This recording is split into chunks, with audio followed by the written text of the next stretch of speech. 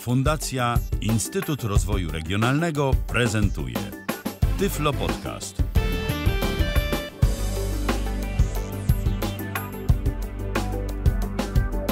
A w każdą środę po godzinie 20 rozpoczynamy Tyflo Przegląd. Tak też będzie i tym razem w środę 23 dnia listopada 2022 roku.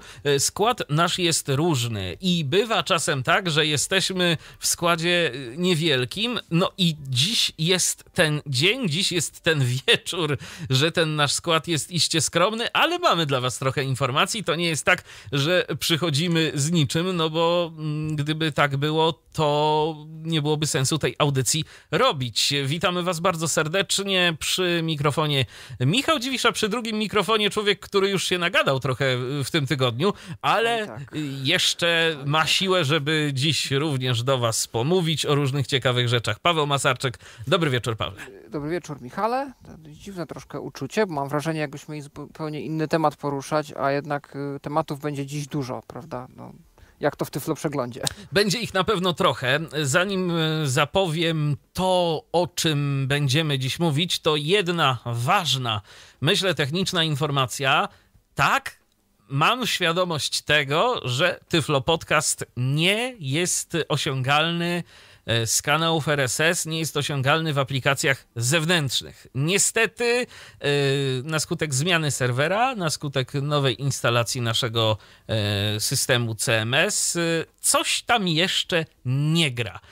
Postaramy się w najbliższym czasie żeby zagrało i żeby wszystko działało. I może wtedy nam się też uda wystartować na Mastodona i inne tego typu miejsca. E, natomiast na razie efekt jest e, taki, że jeżeli macie ochotę posłuchać jakiejś strony, no to trzeba skorzystać z naszego mm, adresu www.tyflopodcast.net i tam sobie tej audycji posłuchać, bo na chwilę obecną niestety nie działają aplikacje aplikacje zewnętrzne. Tak jak mówię, mam nadzieję, że to są tylko przejściowe problemy i że już niedługo działać będą. A teraz, zgodnie z zapowiedzią, kilka słów na temat tego, o czym dziś. W tym tygodniu w Tyflo Przeglądzie. Pojawiły się pierwsze kompilacje TW Blue ze wsparciem dla Mastodona. O Advanced Notepad w Tyflo Świecie. Orange oferuje dekoder z talkbackiem. Niepełnosprawny pracownik Twittera zwolniony z powodu odmowy pracy w biurze. Rosja i Białoruś zawieszone w Igrzyskach Paraolimpijskich. Telewizory Samsunga z akredytacją RNIB. Scrabble w Playroomie. W menu Start pojawiły się dodatkowe komunikaty, a potem zniknęły. Ruszają testy aplikacji Tyflo Podcastu i Tyflo Świata dla systemu iOS. Powstaje robotyczne ramię umożliwiające komunikację osobom głucho-niewidomym. Winamp nie odtwarza HLS? Jest na to rada. Nadchodzą audiobooki czytane przez głosy AI. Wszystko to, a pewnie jeszcze więcej już za chwilę. Zaczynamy! Zaczynamy, zaczynamy. Oczywiście, że tak. Przypominam, że możecie do nas pisać, możecie kontaktować się z nami e, na kilka sposobów. E, przede wszystkim, no to jest do Waszej dyspozycji nasz Zoom, tyflopodcast.net, ukośnik Zoom. Zapraszamy bardzo serdecznie do dzwonienia do nas, do e, rozmawiania z nami, dzielenia się może jakimiś swoimi informacjami, które chcielibyście przekazać bezpośrednio wszystkim słuchaczom Tyflo przeglądu. Y, natomiast możecie też oczywiście pisać. Możecie pisać na kontakt.tyflopodcast.net, możecie pisać na mm, YouTube'a i możecie też pisać na Facebooka. Y, tam transmitujemy i tam również y, czekam na Wasze komentarze. A teraz e, już zaglądam do naszego panelu kontaktowego, bo tu mamy kilka wypowiedzi i cóż, e, cóż my tutaj mamy? Nuno napisał na dobry początek, a u mnie wszystko działa. Haha, witam i testuję. Dla mnie dziś wielki dzień. Tak, rzeczywiście, bo e, będziemy też o tym mówić. Będziemy mówić o tym, co Nuno, czyli Arek Świętnicki dla nas przygotował, mianowicie aplikację, za pomocą której na systemie systemie iOS możecie słuchać Tyflo Podcastów i możecie czytać artykuły z Tyflo Świata. E, ta aplikacja jest e, już gotowa do testów, no i miejmy nadzieję, że za jakiś czas także oficjalnie uda się ją opublikować w App Store. Ale o tym za momencik. E, na razie jeszcze mamy dwa komentarze od Agi. Witajcie. Przychodzę dzisiaj do Was z taką sprawą, a mianowicie pobrałam sobie ten program do pobierania wtyczek Hammer Spoon Spoon, ten, który umożliwia instalowanie wtyczek dla VoiceOvera na Macu. Program pobrałam, zainstalowałam sobie tę wtyczkę y, ze strony Mac Accessibility Hub o nazwie Transpon, y, która tłumaczy wypowiedziany tekst przez VoiceOvera. Niestety, gdy przyszło mi ją uruchomić za pomocą tego polecenia, mm, ten taki kod, który trzeba wpisać, aby ona mogła działać, i naciskam ten przycisk y, Reload Y, config, zaczynają mi wyskakiwać błędy, jakby coś było nie tak z tym kodem. Próbowałam na wiele sposobów, korzystałam z tej instrukcji zamieszczonej na stronie Tyflo Świata, jak ją poprawnie zainstalować. Niestety, czego bym nie robiła, to nie umiem tego zrobić. I z tego co wiem, to nie tylko ja mam taki problem, ale jeszcze co najmniej jedna osoba, o której wiem, że ma dokładnie ten sam problem. Może to jest y, wina najnowszego systemu macOS 13 Ventura, nie wiem, czy ktoś z Was może wie, w czym może tkwić problem? Czy instalowaliście którąś z tych wtyczek? Pozdrawiam serdecznie. A go obawiam się, że my tu nie wiemy. Szkoda, że nie ma Mikołaja dziś e, z nami, no ale niestety nie mógł się pojawić e, na naszej antenie, więc e, cóż, obawiam się, że no nie pomożemy, ale może ktoś do nas zadzwoni i nam coś podpowie tu na antenę Tyfloradia. Kto wie. Ale już widzę, że jest odpowiedź od Nuna. Napisał. Odpowiadam Adze. Włącz wsparcie Apple Script w ustawieniach VoiceOver w ogólnych. E, no, to Ago, jeżeli tego nie próbowałaś, to spróbuj, może akurat będzie to e, rozwiązaniem. E, I tu Aga jeszcze coś do nas napisała, ale to jest to samo, co było wcześniej, także widocznie dwa razy po prostu wysłały się te same wiadomości. A teraz możemy już przejść do informacji bieżących. Najpierw sięgamy do tego, o czym mówiliśmy w poprzedniej audycji i jeszcze wczoraj wczoraj, bo rozmawialiśmy wczoraj dużo o Mastodonie, a tymczasem mamy kolejny program, za pomocą którego tę rozproszoną sieć społecznościową będziemy mogli odbierać. Prawda, Pawle? Zgadza się. O tym już była mowa też poniekąd tydzień temu właśnie, bo to Mikołaj mówił, że autor y, programu TV Blue, czyli Manuel Cortez, y, napisał zarówno na swoim Mastodonie, jak i zdaje się na Twitterze, że coś pracuje nad tym TV Blue, że tak nieśmiało wprowadza to wsparcie. No a tymczasem mamy już y, pierwszą skompilowaną, działającą wersję kodu i można, jeżeli ktoś jest odważny, spróbować y, pobrać taką wersję. Oczywiście link będzie w komentarzu. Program jest tylko w wersji 64-bitowej i tylko w wersji portable na ten moment, czyli spakowany zip, rozpakowujemy go, odpalamy i możemy działać. E, Mastodon to jest tak naprawdę początek e, pewnego nowego rozdziału e, w historii programu TV Blue, ponieważ jest to początek wsparcia dla większej ilości serwisów. Ja nie wiem, czy plan Manuela jest taki, żeby z TV Blue zrobić takiego open source'owego i darmowego konkurenta dla Twiscake'a, natomiast no, no, no, kto zabroni, no jeżeli, jeżeli tylko Manuel uważa, że jest w stanie to obsłużyć i zaoferować, e, no to dlaczego by nie? Na ten moment wsparcie jest, no, nie najgorzej zaimplementowane i nie najgorzej już rozbudowane, jak na to, że E, jest to pierwsza wersja i taka wczesna, wczesna, wczesna, nawet jeszcze nie beta, bo, bo prawdopodobnie alfa. E, rzeczy jest już dość dużo. Na ten moment e, rzeczy są bardzo bliźniaczo podobne do tych z Twittera, czyli oczywiście te same skróty, pewne te same pojęcia, do tego stopnia, że no, jeszcze nie zostały przemianowane odpowiednio niektóre elementy w menu, więc dalej na przykład jest informacja o jakichś tweetach, o jakichś retweetach. E, terminologia jak najbardziej ptaszkowa jest dalej używana. Mm, to się oczywiście zmieni. Na ten moment jedyne, co autor usiłuje zademonstrować, to, że sama funkcja działa. No, na przykład w odróżnieniu od Twiscake'a mamy tu na starcie już osobne bufory dla wzmianek i wiadomości bezpośrednich. Oczywiście, no wiadomo, że wiadomości bezpośrednie na Mastodonie to tak naprawdę wzmianki z ustawioną prywatnością tylko dla zawzmiankowanych, czyli no są to zwykłe wpisy, y, które są ukryte dla wszystkich, oprócz osób, które są w nich oznaczone. No mimo to fajnie jest mieć podręczny taki dostęp do tych y, specjalnie nam dedykowanych y, wpisów, czego Twiscake nie ma, no bo jednak prowadzimy tam jakieś rozmowy z ludźmi i chcielibyśmy móc albo szybko komuś odpisać, albo no, żeby w zalewie różnych innych powiadomień y, nam te y, rozmowy nie poznikały. Y, wiadomości te prywatne są zorganizowane w taki sposób, troszeczkę jak w Telegramie, tak to porównuje autor. Czyżby jakaś zapowiedź tego, co mogłoby być w TV Blue? E, kiedyś, nie wiem, nie wiem. Natomiast widać tam w wiadomościach, w tym buforze wiadomości prywatnych, jedynie ostatnią wiadomość, ostatni wpis w danym wątku. Jeżeli chcemy przejrzeć cały wątek, no to rozwijamy go skrótem klawiszowym do otwierania konwersacji, do otwierania wątków.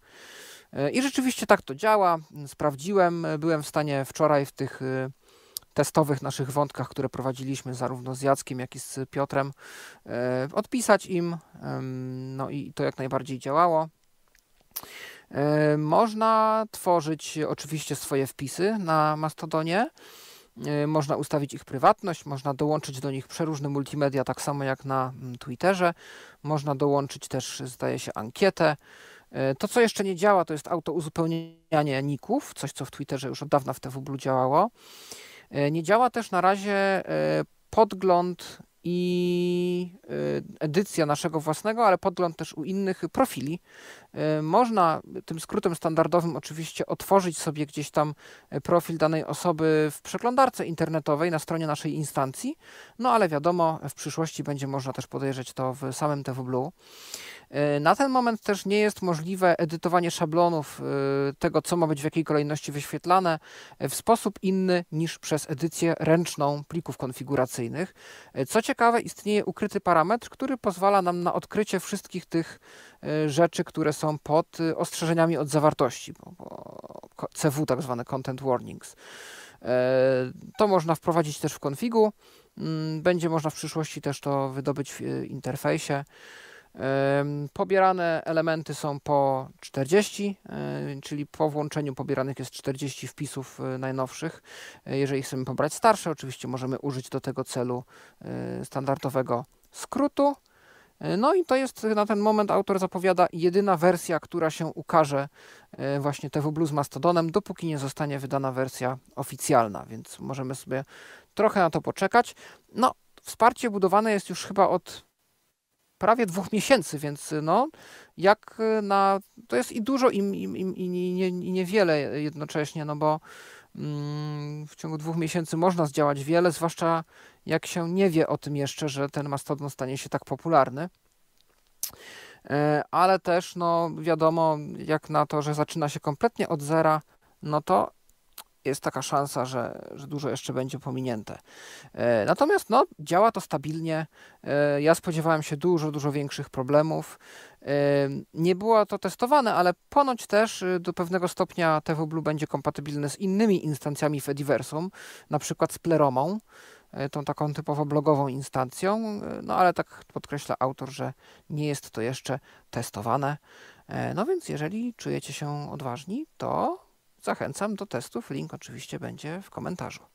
Zapraszamy do testowania, bo rzeczywiście no, kolejny dostępny klient y, Mastodona to jest myślę coś, y, co może się spodobać, szczególnie, że TV Blue myślę, że ma swoich y, zagorzałych użytkowników i tych, którzy po prostu z tego klienta Twittera lubią korzystać, no to czemuż by sobie nie dodać kolejnej usługi.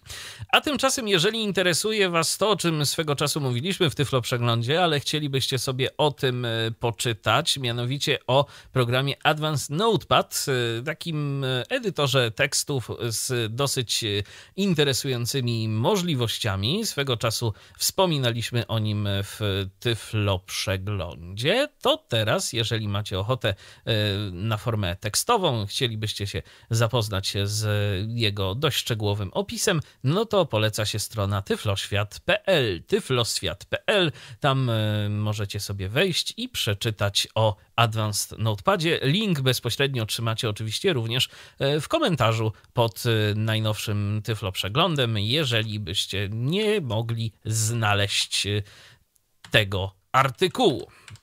E, cóż my tu mamy jeszcze? E, mamy informację od Agi, że Apple Script ma włączony, ale mimo to mi to nie chce działać.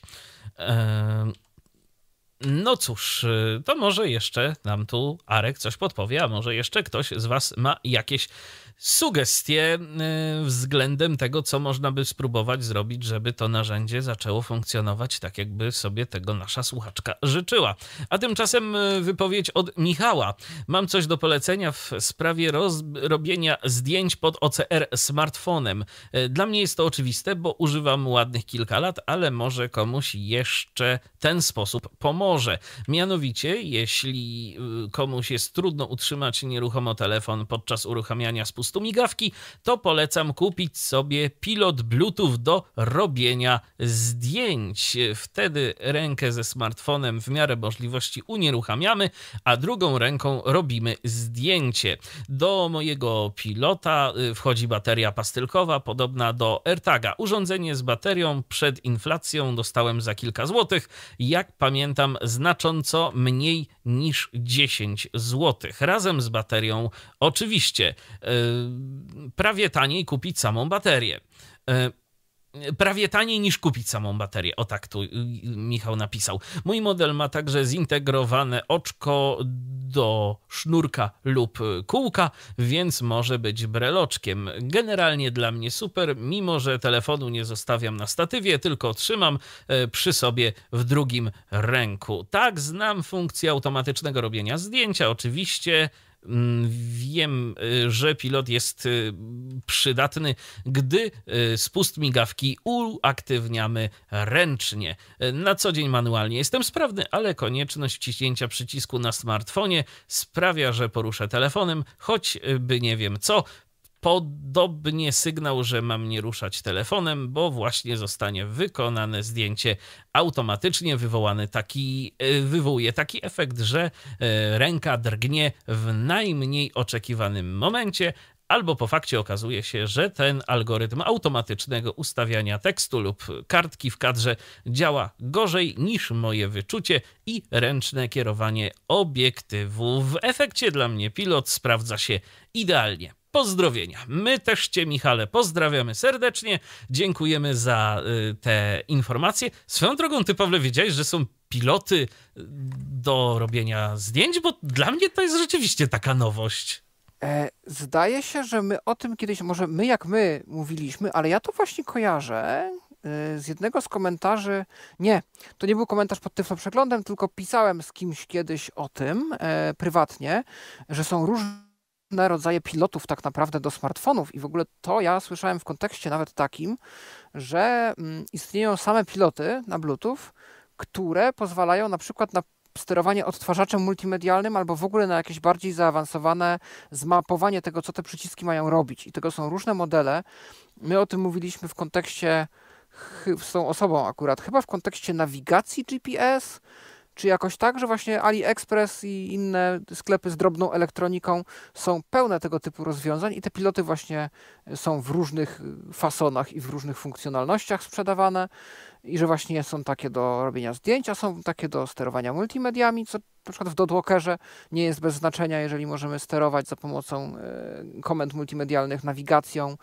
E, są jeszcze takie właśnie bardziej jakieś programowalne, więc tak, ja o tym słyszałem, że coś takiego jest, ale jeszcze sam się nad tematem nie pochylałem. Dziękujemy za poradę tutaj. Dzięki Michale, to się na pewno przyda, bo myślę, że nie tylko ja byłem pozbawiony tej wiedzy, e, że jest coś takiego właśnie jak pilot do wywoływania zastosowania I fajnie, migawki. że to działa z iPhone'em też. Dokładnie. To nie, jest, to nie jest zawsze oczywiste niestety. Tak. Android jest dużo bardziej tutaj uniwersalny.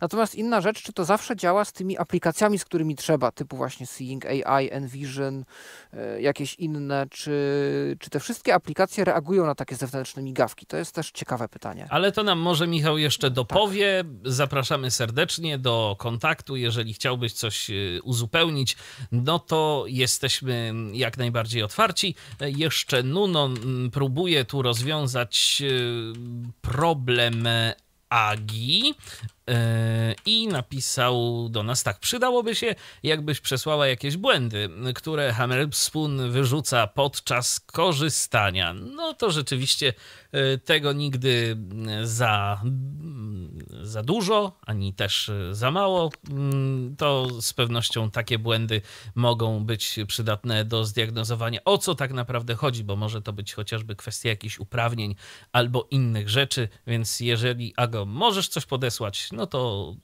to prosimy bardzo. Yy, A teraz yy, przechodzimy do kolejnych tematów. Tu w międzyczasie widzę, że na przykład na YouTubie Piotr się z nami przywitał. Witamy Piotrze, Piotrze cię bardzo serdecznie. Yy, No, a teraz przechodzimy do informacji bieżących, których mimo szczupłego dziś składu osobowego troszkę dla was mamy. Zaczynamy od tego, co nam ma do zaoferowania Orange, a ma nam do zaoferowania dekoder, który, jak się postaramy, to się do nas odezwie. Tak, tutaj za informację dziękujemy naszemu koledze redakcyjnemu. e, Kazimierzowi Parzychowi, bo to on e, no, gdzieś tam prywatnie e, nam taką informację przekazał.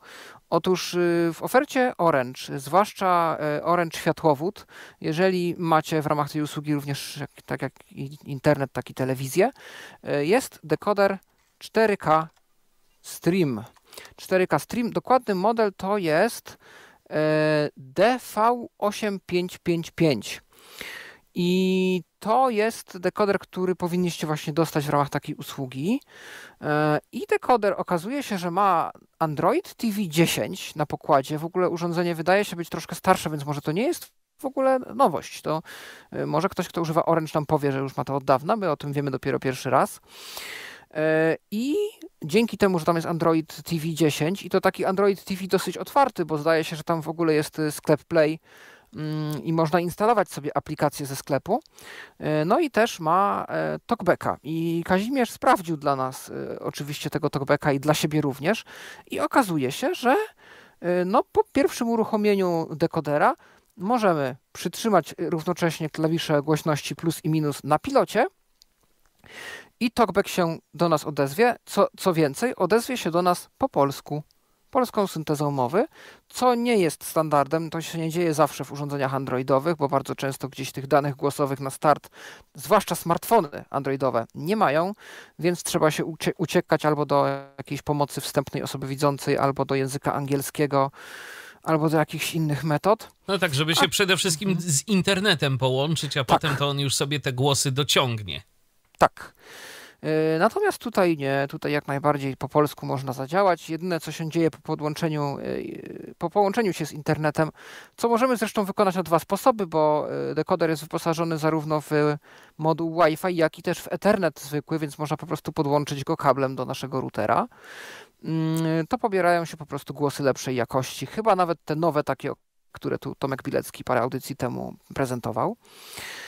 No i e, możemy już z naszego dekodera korzystać. E, z tego, co Kazimierz opisywał, aplikacja Orange TV zdaje się być, bo jeszcze to są pierwsze dni i e, gdzieś tam testy szczegółowe przed kolegą dopiero, ale z aplikacja Orange TV zdaje się być dostępna. Poza tym jest na pokładzie również Netflix, kilka innych aplikacji. Zresztą, jeżeli czegoś nam brakuje, możemy sobie to dociągnąć ze sklepu Play. Launcher, czyli program głów, ekranu głównego również jest dostępny. E, Istnieje na pilocie możliwość oczywiście przełączania ścieżek dźwiękowych, czyli włączenia też audiodeskrypcji. E, No i e, samo urządzenie to taki, jak to Ka- Kazimierz opisał od spodu, trochę jak talerz, takie zaokrąglone, ale w sumie to widać, że taki troszkę kwadrat i bardzo ładne stylistycznie urządzenie. E, no ja mogę wam przeczytać, co o tym urządzeniu pisze sam, o, samo Orange, bo, bo tutaj urządzenie jak najbardziej jest na stronie operatora opisane. Dekoder 4K Stream to dekoder do Orange TV dedykowany do Orange Światłowód. Dekoder współpracuje z e, Funboxem 2.0, Funboxem 3.0 oraz Funboxem 6. Jak wygląda dekoder? Tu jest zdjęcie. Jakie są parametry techniczne dekodera? E, otóż procesor ARM 64, 64-bitowy y, Cortex A53 2 GHz e, DVFS procesor graficzny Mali G31 MP2 850 MHz pamięć y, RAM 2 GB pamięć wbudowana 8 GB więc tej przestrzeni tu jakoś dużo powiedzmy sobie szczerze nie ma Sieć, e, no RJ45 Ethernet 10 e, na 100 megabitów i Wi-Fi 2,4 i 5 GHz, 2 razy 2 AAC, Bluetooth 4.2, e, AV i wyjścia jakie tu mamy to HDMI, S/P, SP, DIF, oprogramowanie to Android TV 10, Kazimierz opisywał również, że jest wyjście cyfrowe audio, tradycyjny jack, no więc w kwestiach audio też jesteśmy tu wyposażeni jak najbardziej. Mm, DRM to e, White Wine, e, White Wine nawet i PlayReady. E, kodeki wideo H265, e, VP9, AVS2, P, P2 H264, AVC, MPEG 124,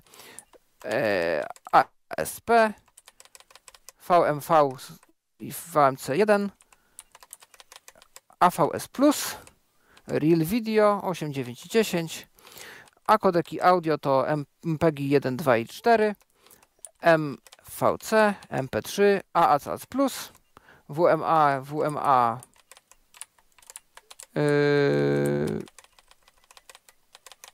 WMA Pro, flag OGG. Dźwięk, jaki jest wspierany, to DD+, yy, DTS, Atmos, Pass-Through. Wymiary to 135 mm wysokości na 135 mm długości na 30 mm wysokości. Waga to 308 gram. Yy, dekoder nie wymaga karty VIA Access, nie obsługuje cyfrowej telewizji naziemnej DVB-T oraz nie obsługuje telewizji satelitarnej. E, no, zestaw co zawiera? Zawiera e, dekoder 4K Stream, pilot z bateriami, zasilacz z kablem 1,5 metra, przewodnik użytkownika, kabel Ethernet dwumetrowy i kabel HDMI 4K 1,5 metra. E, tu mamy też opis przedniego i tylniego panelu. Dioda zapalona na stałe, kolor biały, urządzenie włączone. No to są takie już informacje, które e, nas pewnie nie będą aż tak interesowały, dopóki sobie tego dekodera nie kupimy. No, może jak już Kazimierz się zapozna, kto wie, kto wie, może nagra podcast o tym dekoderze. E, pożyjemy, zobaczymy. Natomiast mi się podoba to, że już operatorzy oferują e, tego typu sprzęt kliencki domyślnie, bo oczywiście różnego rodzaju top, set-top boxy, boxy, smart boxy, mm, dekodery z Android TV, no to nie jest nowość, tylko do tej pory to wszystko był sprzęt nieoficjalny, który kupowaliśmy na własną rękę i albo on współpracował z tym, co daje nam nasz dostawca usług, czy to kablowych, czy satelitarnych, albo nie, albo mm, nasz dostawca i jego konsultanci byliby nam skłonni pomóc w konfiguracji tak, żeby to działało, jeżeli nie działa samo z siebie, albo nie, bo... No i też w zależności od tego, skąd byśmy takie urządzenie kupili, może się okazać finalnie, że e, oprogramowanie w nim różni się od tego, co tak. mają na przykład nasi znajomi. Dokładnie. I, I, różne rodzaje problemów tego typu konfiguracje rodziły. E, no niemniej jednak wiemy, że takie urządzenia, zarówno całe telewizory, jak i po prostu boksy istnieją e, i dało się je obsługiwać za pomocą talkbacka. Natomiast tutaj e, jak najbardziej godna pochwały jest postawa Orange, że tego typu sprzęt oficjalnie pochodzący od nich jest i ma on y, wbudowane to udźwiękowienie, z czego może operator sobie nawet do końca nie zdaje sprawy, bo no Android to jest Android. Operator daje to, co ma, może do końca nawet nie wiedząc, że takie możliwości tam są. Natomiast to się fajnie wpisuje w ustawę o mm, europejską ustawę o dostępności, o której mówiliśmy jakiś czas temu, w ramach której no, dostawcy mediów powinni te urządzenia, które oferują, mieć dla osób z różnymi niepełnosprawnościami dostępne. My się tu martwiliśmy też, czy oni podolą, podołają, czy sobie dadzą z tym radę, czy to nie będzie jedna wielka seria wymówek, że przecież to jest y, bardzo drogie, taka inwestycja w jakieś udźwiękowienia, tworzenie wszystkiego od zera, jakichś screenreaderów i tak dalej. Szczerze mówiąc, nie pomyślałem o tym, a to jest bardzo logiczne rozwiązanie i szczerze mówiąc, najtańsze i najbardziej już gotowe zaoferować po prostu dekoder z Android TV. Dokładnie. Po, po. Bo tu naprawdę nie ma wytłumaczenia, że się nie da, yy, tylko kwestia dobrej woli, żeby zapewnić tam odpowiednią ilość pamięci, yy, no żeby po prostu zmieściło się to, co ma być, czyli głosy i przede wszystkim, yy, żeby tam wgrać język polski. Więc to nie jest kwestia tego, że nie ma jakichś możliwości, tylko że trzeba pomyśleć i zaprojektować odpowiednio yy, taki obraz systemu dla takiego dekodera. Bo to wszystko jest dostępne na wyciągnięcie ręki za darmo. Dokładnie, więc e, tutaj brawo Orange i miejmy nadzieję, że inni dostawcy telewizji, e, także satelitarnej, kablowej, internetowej i innej, no pójdą tu w ślad za Orange'em i zaoferują, bo to takie proste. Oczywiście, życzylibyśmy sobie tego. A teraz y, taki moment, gdzie zbliżamy się bardzo do y, takich portali ogólnotechnologicznych, bo nie wiem, Pawle, czy się ze mną zgodzisz, ale nie ma w zasadzie dnia ani tygodnia, y, żeby wiodącym tematem ostatnimi czasy na takich technologicznych portalach nie był Elon Musk i Twitter. Powiem tak, trzeba się naprawdę bardzo postarać, w sensie pozytywnym bądź negatywnym, e, w zależności od kontekstu i sytuacji, żeby w medium, które jest poświęcone osobom niewidomym, stać się tematem numer jeden na kilka tygodni, prawie jak tak. na listach przebojów. I to, wcale, I to wcale nie dlatego, żeby to, co Elon Musk e, obecnie robi, zasługiwało na jakieś e, szczególne fanfary, chociażby wycięcie w pięć zespołu dostępnościowego Twittera, który no, od jakiegoś czasu rzeczywiście działał całkiem prężnie. E, no, a teraz cóż, okazuje się, że to nie jest e, ostatnie słowo dotyczące Ilona Maska, dotyczące jego polityki. E, tym razem do, z, związanej z pracą. Otóż w firmach Maska nie ma czegoś takiego jak praca zdalna. To znaczy, jak tam COVID był w tym największym rozkwicie, że tak pozwolę sobie użyć tego słowa, e, no to oczywiście tak, przez chwilę zdalnie można było pracować, czy to w SpaceXie, czy jeszcze czy w Tesli, e, no tego typu miejscach, ale generalnie Elon Musk e, nie uznaje pracy zdalnej. Ma być praca w biurze, bo to ponoć bardziej integruje zespół i Ponoć nawet gdzieś tam ostatnio czytałem, że pracownicy tych firm y, zarządzanych przez Maska, oni chcą do tej pracy przychodzić. No to okej, okay, no. Być może, no są na pewno takie osoby, dla których praca w biurze jest y, rozwiązaniem najlepszym, bo po prostu w domu nie mają warunków na to, żeby pracować. I to, yy, kiedy była pandemia, yy, kiedy był ten okres lockdownów i kiedy nie dało się pracować w biurach, to ja jestem w stanie uwierzyć, że dla części osób był to naprawdę problem. Yy, I to problem, podejrzewam, niemały.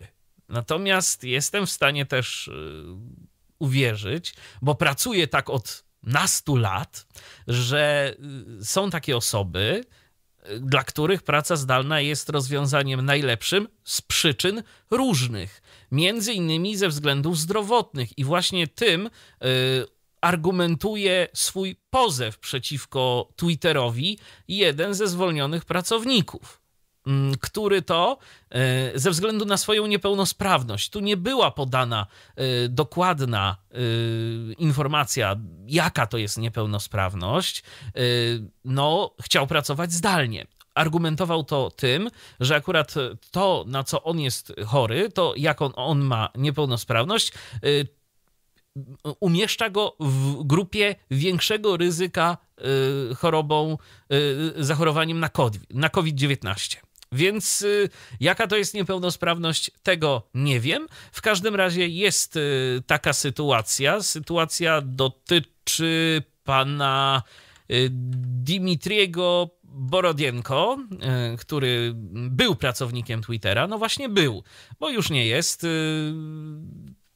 ostatnimi czasy usłyszeliśmy o tym, jak to Elon Musk e, no, dał takie ultimatum pracownikom Twittera, że no, tam kilka warunków było. Przede wszystkim, że będziemy bardzo ciężko pracować, jak to nie chce, no to trzymiesięczna odprawa. a chyba był zobowiązany do dwumiesięcznej. Jakoś, jakoś tak to wyglądało. No w każdym razie y, sytuacja, jest, y, sytuacja jest taka, że sprawa otarła się o sąd, bo pan y, Dimitri nie ma zamiaru pozostawić y, tak tego tematu, tym bardziej, że y, on się tu powołuje na ADAE, ADA właściwie, czyli na AD Mm, tak y, mówiąc y, po polsku. I jest już nawet jeden wyrok sądu w tej sprawie, jest już y, w tej sprawie precedens mówiący o tym, że przystosowanie, a właściwie jednym z przystosowań, z rodzajów przystosowania stanowiska pracy dla osoby z niepełnosprawnością może być praca zdalna. Że jest to opcja, jeżeli oczywiście no, jakoś nadmiernie pracodawcy to nie obciąża. Jestem sobie w stanie wyobrazić y, sytuacje, w których praca zdalna y, może być dla pracodawcy obciążeniem zdecydowanie większym. Y, no, na przykład, jeżeli to by miała być praca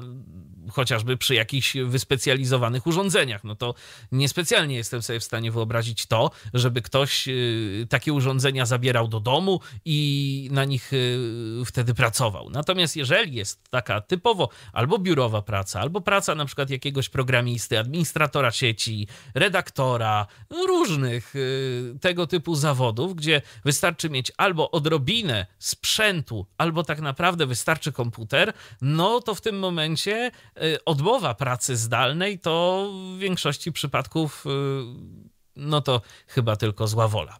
Jestem bardzo ciekaw, jak y, potoczą się dalej losy tej sprawy i czy tutaj rzeczywiście również będzie tak, no, że że, że, sąd nakaże albo przywrócenie tego pana do pracy, albo wypłatę odpowiedniego odszkodowania. I kto wie, czy nie będzie to odszkodowanie wyższe niż ta trzymiesięczna odprawa, jaką Elon Musk zaproponował. Powrót oczywiście, jeżeli będzie jeszcze do czego wracać. Jeżeli... Bo, no bo tutaj losy Twittera to tak, y, no nie wygląda to za różowo, mm, patrząc na aktualne wiadomości. Tak, y, między innymi na przykład ostatnio na Twitterze to mm, taka ciekawostka. Yy, zwolniono osoby odpowiedzialne za różnego rodzaju mechanizmy y, dotyczące nadzorowania y, łamania praw autorskich. I już tego efekty były widoczne, bo ludzie zaczęli sobie na Twitterze w formie wideo streamować różne filmy. Tak. Ktoś tam na przykład hakerów streamował. Co więcej, ktoś, y, czy ktoś, no wiemy kto, zwolnił też osobę odpowiedzialną za zarządzanie tymi plakietkami autoryzacyjnymi pozwalającymi pracownikom, którzy na miejscu są, na to, żeby wejść do środka w ogóle do budynków. I tam przez jakiś czas w ogóle był problem, żeby się dostać do środka. Tak, ale w międzyczasie to jeszcze y, zażądał y, anulowania tych wszystkich plakietek. Y, mhm. bo, to, no. bo, to jeszcze, bo to jeszcze tak było, bo przecież wszyscy mieli mieć zakaz tak. dostępu do tych obiektów. No i okazało się, że jak wszyscy, to wszyscy. No, mhm.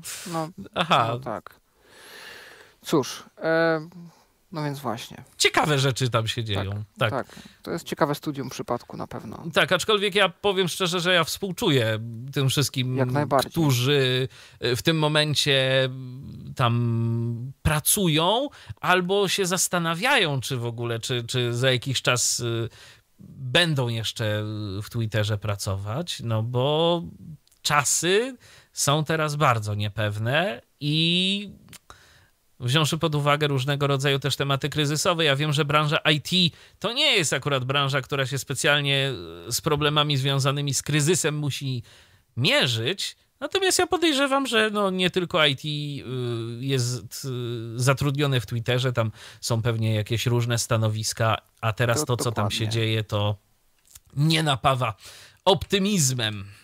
No dobrze, a teraz y, SciTech Global, taka konferencja. Już wiemy, co na niej będzie w tym roku, prawda? Tak, wiemy, owszem. Dla przypomnienia, SciTech Global, czyli trzecia w tym roku, trzecia już w historii, w tym roku trzecia edycja konferencji SciTech Global, organizowanej przez taki amerykański, dość bardzo znany portal technologiczny TechCrunch. E, skupiona na rozwoju technologii opartych o sztuczną inteligencję pod kątem właśnie osób z dysfunkcją wzroku. No i w ciągu ostatnich dwóch lat mieliśmy tam na przykład zawsze gości z firmy Meta, czyli Facebook, et consortes. E, mieliśmy osoby odpowiedzialne za startupy od samojezdnych samochodów, czyli różne rzeczy tam Waymo, e, Lyft i tak dalej. Mieliśmy oczywiście firmy przedstawiające technologie wspomagające, takie typowe, czyli różnego rodzaju brajlowskie tablety e, i tak dalej. No i w tym roku nie jest inaczej. E, również jest dość duży panel e, gości, osób przedstawiających e, najróżniejsze rzeczy.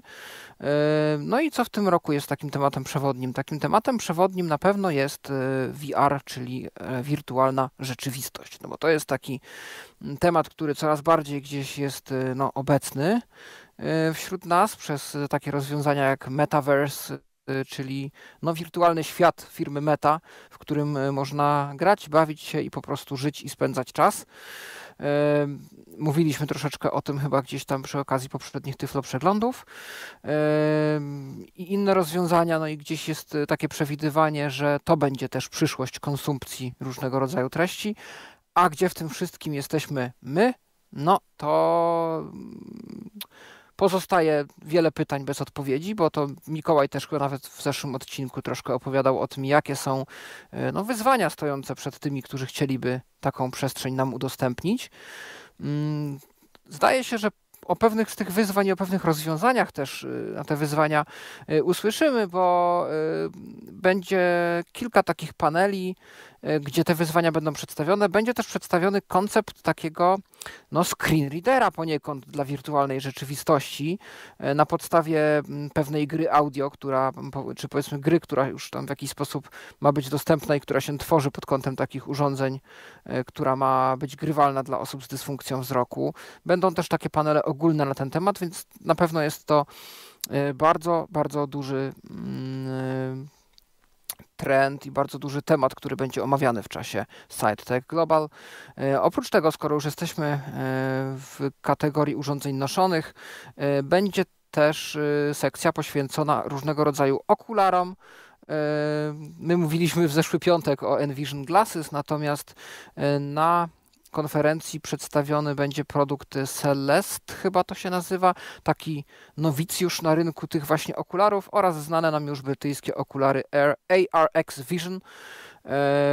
Również takie znane twarze, jeśli chodzi o technologie wspomagające, czyli APH, American Printing House for the Blind i ich już zapowiadany szumnie długo, a nie mający jeszcze nazwy monitor brajlowski, e, służący do mm, wypuszczania grafik i demonstracji grafik graficznych różnych konstrukcji i interfejsów.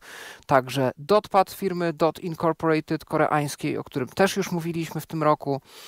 E, także Humanware i co nowego w Stellar Treku, e, czyli urządzeniu do nawigacji i konsumpcji multimediów. E, także co nowego i jakie, jaka przyszłość czeka Seeing AI, znany program Microsoftu. E, także Pixar się co ciekawe pojawi na Tech Global i Pixar będzie opowiadał o audiodeskrypcji robionej za pomocą syntezy mowy i sztucznej inteligencji, więc to może być też gdzieś tam bardzo, bardzo ciekawe. E, no i wiele innych tak naprawdę mm, firm e, i wiele takich zagadnień e, z zakresu właśnie sztucznej inteligencji. Też będzie o nowej technologii przetwarzania obrazu, która pozwoli programom szybciej uczyć się rozpoznawać pewne obrazy i przekazywać nam informacje o tym, co z tych obrazów zostało wyczytane. E, One-shot learning, czyli technologia, która sprawia, że sztuczna inteligencja może sama się uczyć interpretacji obrazów na podstawie materiałów graficznych zebranych z internetu. Analiza, czy to jest tak naprawdę postęp, czy jednak regres. No, to i wiele, wiele więcej na SiteTech Global. 7 i 8 grudnia e, będzie na kanale YouTube'owym prawdopodobnie moc transmisji, a później też opublikowanych y, materiałów. Na konferencję będzie można się zapisać y, i śledzić ją z y, wygody swojej, waszej kanapy w domu lub innego miejsca, gdzie lubicie w takich wydarzeniach brać udział. Ja oczywiście postaram się uczestniczyć i później w ramach Tyflo Przeglądu zrelacjonować wam co ciekawsze prelekcje, więc nawet jeżeli angielski jest dla was przeszkodą, to nie bójcie się, bo postaram się tutaj te co ciekawsze jakieś y, obserwacje również tu przekazać. A na pewno będzie o czym mówić, bo słysząc, Pawle, Twoje informacje, no to y, jest na co czekać, powiem tak. I rzeczywiście robi się tu bardzo, bardzo ciekawie. Pozostaje tylko mieć nadzieję, że te różne eksperymentalne rzeczy, które zostaną tam zaprezentowane, znajdą swoje odzwierciedlenie w jakichś takich produktach, które będziemy mm, z czasem mogli e, na co dzień e, wykorzystywać, bo tak naprawdę to o to w tym wszystkim chodzi. A teraz, e, no cóż, taki temat nam się polityczny trochę zrobił. E, dlatego, że będzie o Rosji i Białorusi. Te e, państwa, mm, a właściwie mm, ci sportowcy, sportowcy niepełnosprawni z tych e, krajów zostali już zawieszeni w marcu na igrzyskach w Pekinie. Natomiast ta sytuacja ma swoje dalsze reperkusje, dlatego że mm, Rosja i Białoruś generalnie zostaje zawieszona w Igrzyskach Paraolimpijskich. Oba kraje zostały oskarżone o niewypełnienie obowiązków członkowskich zgodnie ze statutem Międzynarodowego e, Komitetu Paraolimpijskiego. Było głosowanie, no i cóż, za zawieszeniem Białorusi głosowało 54 delegatów, 40 yy, yy, 45 było przeciw, a 18 wstrzymało się e, od głosu. Członkowstwo Rosji zostało zawieszone 64 głosami za, 39 e, przeciw i 16 wstrzymującymi się. E, no cóż, co można do tego jeszcze dodać? Otóż chyba to, że jak pisze portal telewizji Bielsat, decyzja może zostać zrewidowana dopiero pod koniec 2023 roku, bo dopiero wtedy będzie miało miejsce kolejne zgromadzenie mm, Komitetu Paraolimpijskiego i wtedy będzie można zdecydować o, o ewentualnym przywróceniu e, tych państw do pełni praw, e, jeżeli chodzi o, mm, o tego typu e, sprawy.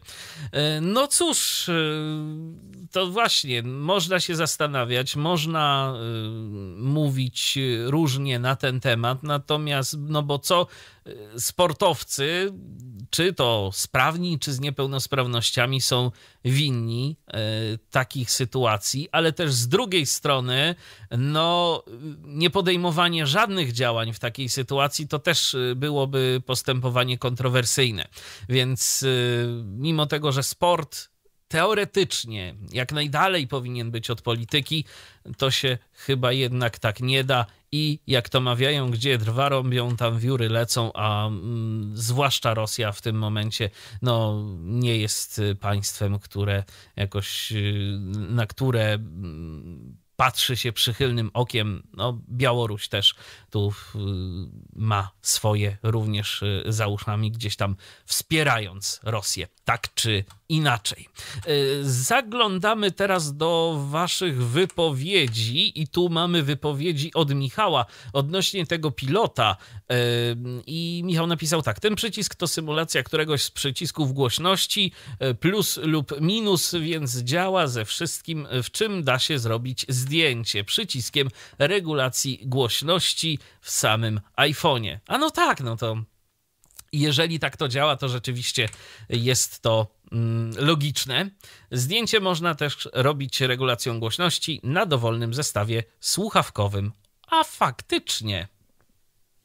To nawet jeżeli mamy słuchawki bezprzewodowe, to by się to pewnie dało zrobić. Nie próbowałem nigdy, a może i warto by tak, było. Tak, chyba te piloty, o których ja rozmawiałem z, z kimś, yy, zdaje się, że na podobnej zasadzie działają właśnie jakiegoś symulowania tego, co potrafi. Czyli to, co mają słuchawki, tylko bez słuchawek. Tylko tak. bez słuchawek. Przez to jest to mniejsze urządzenie i można je przyczepić nawet do laski. Tak jest. E, I sterować nawigacją chociażby, jak, jeżeli nawigacja na to oczywiście pozwala. I tu mamy jeszcze wypowiedź Nuna. Gdybym nie miał świadomości tego, że audycji tej mogą słuchać dzieci, osoby wrażliwe, nauczyciele i tak dalej, to wypowiedziałbym się o Ilonie Masku. Teraz mogę jedynie westchnąć i z zażenowaniem patrzeć na to, jak ten człowiek niszczy to, co powstało i było sobie i żyło bardzo, bardzo stabilnie.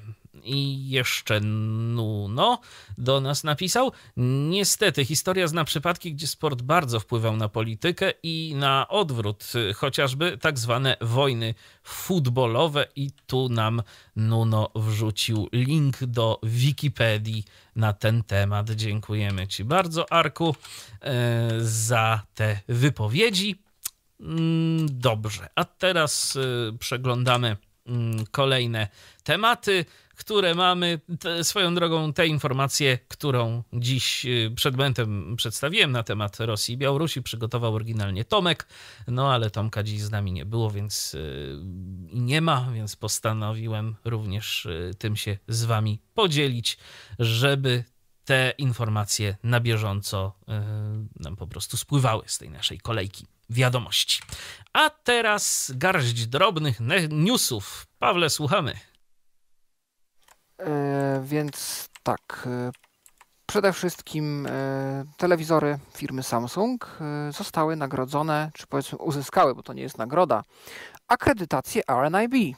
Oznacza to, że ta organizacja, która przypominamy jest właśnie takim związkiem osób niewidomych w Wielkiej Brytanii, przetestowała te urządzenia pod kątem dostępności dla osób z dysfunkcją wzroku i przyznała im swoją pieczątkę, że te telewizory w istocie są dostępne. I tu artykuł wymienia no, różne funkcje, które posiadają telewizory Samsung.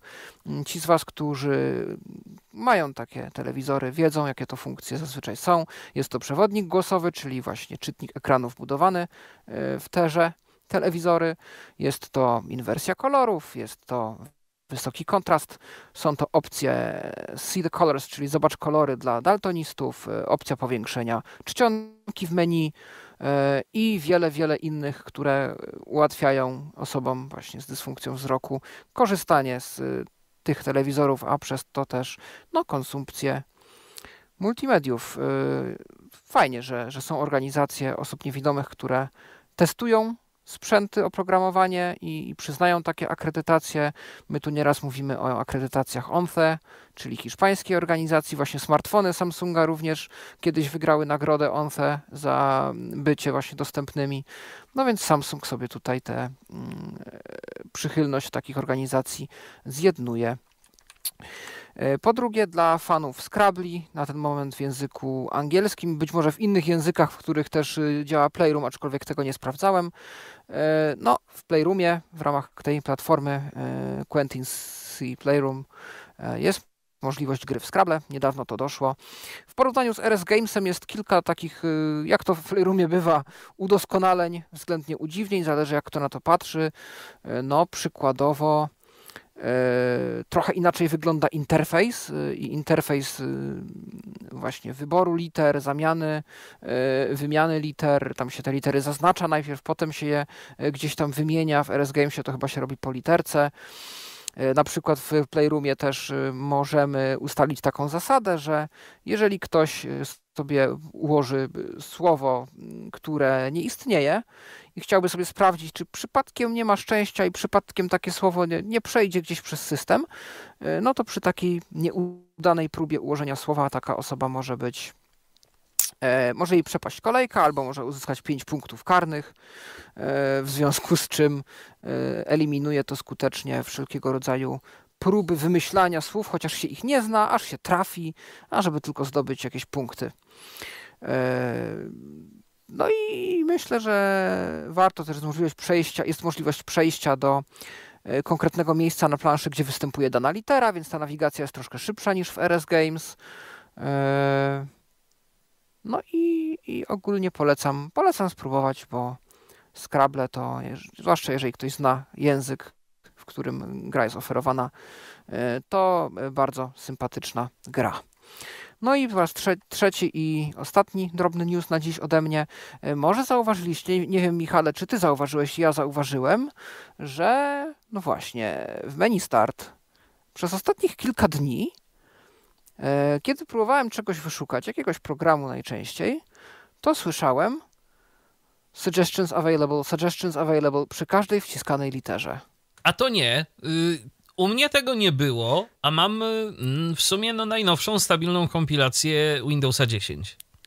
A widzisz, bo ja to miałem.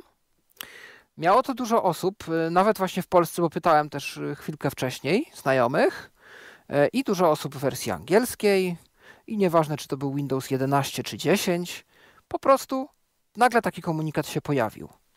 E, sprawie przyjrzał się Jonathan Mosen. Oczywiście mówił o tym w najnowszym odcinku Mosen at Large swojego podcastu.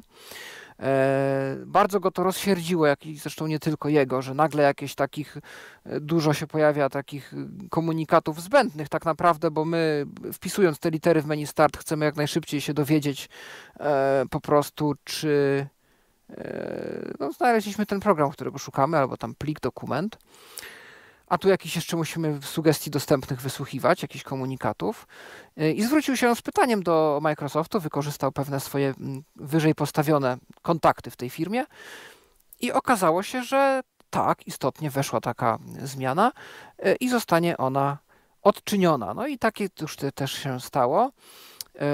I może bym o tym nie wspominał, gdyby nie fakt, że no ja mam Windowsa 10, ale dość starego, bo z przyczyn różnych technicznych, które, do których jeszcze dochodzę, do których źródła jeszcze dochodzę, ja od długiego już czasu nie otrzymuję aktualizacji Windowsa. Czy otrzymywać otrzymuję, ale nie mogę ich zainstalować. W związku z czym, no to na pewno nie jest, a u mnie też ten komunikat się pojawił, więc przynajmniej w moim przypadku to na pewno nie jest wynik jakiegoś update'u, który mi się zainstalował. Czyli znikąd tak naprawdę e, nagle zaczęły mi się pojawiać jakieś komunikaty. Możliwe, że tutaj winien jest jakiś inny komponent, który mimo wszystko się aktualizuje, niezależnie od systemu e, i takie zmiany potrafi wprowadzać. Co to było, nie wiemy, ale było i nagle zniknęło. No i ciekawe, co to Microsoft ma za władzę, E, że może nam takie zmiany nagle wprowadzać, że, że to menu start zaczyna coś czytać. Może to jest jakiś element edge'a, bo pamiętajmy, że menu start jest integrowane tak, z Bingiem, prawda? Z wyszukiwarką Bing, więc jakiś widok Edge'a jest y, renderowany pewnie w tym menu start. E, no więc kto wie, może to był Edge. Ale no, na przyszłość już wiecie, że to jest wszystko system naczyń połączonych e, i jeden element może nagle wpłynąć na 10 innych, tam gdzie się tego najmniej spodziewamy. Tak jest. No cóż. Yy, mamy też taką sugestię od, yy, od Nuna, a propos tego, mm, co to może być. Podejrzewam, że to może wynikać z tego widgetu pod wynikami lokalnymi. To jest y, chyba MSN czy coś takiego. Nie wiem, bo używam yy, Fluent Search i menu start nie widziałem dawno. Okay, no, kto wie. no to dzięki. Może tak być. I jeszcze jedna wypowiedź, tym razem wypowiedź od Michała, ale jak macie AirPods bez regulacji głośności, to pilot przydaje się. No to też prawda. E, chociaż ja akurat nie korzystam, ja, ja, korzystam ze słuchawek, które mają te regulacje głośności i jest to rzeczywiście wygodne. A teraz, e, cóż, e, myślę, że mała demonstracja tego, co być może będziecie mogli potestować, jeżeli tylko oczywiście będziecie mieli na to ochotę. Już sobie odblokuję ekran. Chociaż za, właściwie to nie ja powinienem to y, prezentować, tylko powinien to Arek zaprezentować. Arek Świętnicki, który jest autorem aplikacji Tyflo Centrum, której y, mm, mamy pierwszą taką wersję y, przeznaczoną do publicznych testów. Jak y, do tych testów y, się przyłączyć, no to o tym za momencik opowiem. Na razie pokażę pokrótce, jak ta aplikacja wygląda. Aplikacja ma pięć zakładek, nowości, podcasty, artykuły, szukaj i więcej. E, w, arty, w zakładce nowości mamy jak na razie nowości tylko z e, Tyflo Podcastu. Docelowo podejrzewam, że e, pojawią się tu i nowości, czyli najnowsze artykuły, zarówno z Tyflo Podcastu, jak i z Tyflo Świata, czyli podcasty najnowsze i artykuły z Tyflo Świata, artykuły w wersji tekstowej. Natomiast no, na chwilę obecną mamy tutaj tylko podcasty. W zakładce podcasty mamy kategorię Tyflo Podcastu, w artykułach mamy kategorię y, z Tyflo Świata. Szukaj działa na razie z tego, co wiem, tylko w Tyflo, y, w Tyflo podcaście. Natomiast y, zakładka więcej to umożliwia słuchanie Tyfloradia i skontaktowanie się z nami, kiedy nadajemy na żywo. Jeżeli chodzi o nadawanie i słuchanie Tyfloradia, to tu Arek okrasił to takim komentarzem. Pozwolę go sobie pokazać. Posłuchaj więcej. Nagłówek. Posłuchaj Tyfloradia. Niestabilne, że aż boli. Przycisk. Posłuchaj Tyfloradia. Niestabilne, że aż boli. Czy ja wiem, czy niestabilne, że aż boli? Klikam. I co? 80% baterii. I może faktycznie jest stabilne. Bo przed momentem. E, przed momentem działało. Teraz nie chce działać, ale nie. Odtwarzaj. Klikam, odtwarzaj i co? Zadziała? Nie zadziała? Skontaktuj, odtwarzaj, przycisk, odtwarzaj. No i rzeczywiście chyba niestabilne, że aż boli, bo na chwilę obecną nie działa, ale działało. Yy, więc yy, to są wszystko, to są wszystko testy i tu rzeczywiście może się jeszcze wiele zdarzyć. Yy, natomiast jeżeli macie ochotę skorzystać z tej aplikacji, macie ochotę ją potestować, e, no to musicie skontaktować się z Arkiem, e, który doda was do TestFlighta. To jest e, akurat taka trochę bardziej zawiła ścieżka, jeżeli chodzi o podłączenie się do tego TestFlighta, bo to będzie realizowane przez tak zwany mechanizm iTunes Connect, czyli to będą takie pierwsze, jeszcze bardzo wewnętrzne testy dla dość wąskiej grupy odbiorców, ale może można się mm, z Arkiem jak najbardziej skontaktować i on oczywiście y, doda wasze Apple ID. Mm, jeżeli chodzi o kontakt, no to adres mailowy nuno69a.gmail.com a też jest jeszcze mm, grupa na Telegramie y, której adres to t.me ukośnik tyflocentrum dev. Y, oczywiście V na końcu i Tyflocentrum Dev piszemy razem. Także tak właśnie mm, możecie się kontaktować z Arkiem, y, żeby mm, był w stanie dodać wasze Apple ID do y, test flighta No i będzie można sobie potestować. A wspomniany Arek do nas właśnie się już tutaj chce podłączyć, bo widzę, że jest w poczekalni, więc proszę bardzo, łączymy się z Arkiem. Witaj. Dzień dobry, czy mnie słychać? Słychać. O, więc tak, Tyflocentrum i słuchanie Tyfloradia, które jest niestabilne, że aż boli. Nie wiem, Michale, czy zaktualizowałeś do wersji 1.10? Zaktualizowałem i na początku działało bardzo szybko, bardzo sprawnie, ale potem jak y, próbowałem właśnie odpalić teraz, to no przed momentem coś no Właśnie problemem nie może być ten stream, e, który tutaj mamy, bo to tak jest trochę śmiesznie zrobione, bo niestety przez to, mm, jakie wymagania ma Apple, ja nie mogę sobie się podłączyć do normalnego streama Tyflo Podcastu, tylko tutaj dzięki uprzejmości właśnie Michała mam e, dostęp do takiego relaya Podcastowego, który działa po e, protokole HTTPS i ten relay czasami się sypie, aczkolwiek ja teraz was słucham właśnie z aplikacji, e, z Tyflocentrum i do was piszę z tej aplikacji też, więc u mnie akurat działa. Nie wiem dlaczego Mm, nie wiem, dlaczego to może nie działać. Natomiast, no, jak tu Michał powiedział, to jest beta. Mm, ja e, napisałem tę aplikację w sumie mm, dlatego, że e, brakowało mi takiej szybkiej możliwości z trasy słuchania sobie Tyflo Podcastu czy czytania Tyflo Świata.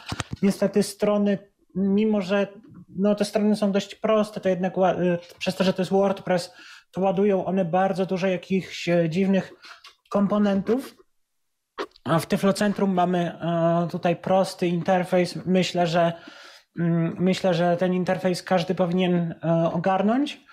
E, no, chcę też dodać kilka takich mm, moim zdaniem innowacyjnych rzeczy. Jak na razie to e, jest beta, beta, która jak na razie jest zamrożona, przez to, że od dzisiaj są publiczne testy, to naprawiamy błędy i poprawiamy jakieś dziwne rzeczy związane z interfejsem.